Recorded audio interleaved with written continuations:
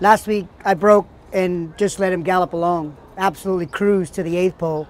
And this week, uh, once the starting gate opened, we were I had him under stress uh, for the entirety of the work, seemingly cruising, but absolutely as fast as he could cruise.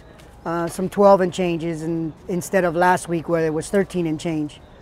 Um, and also the big difference was last week I only asked him for speed for an eighth of a mile, and this week I asked him for speed for a quarter of a mile. Uh, he answered both weeks.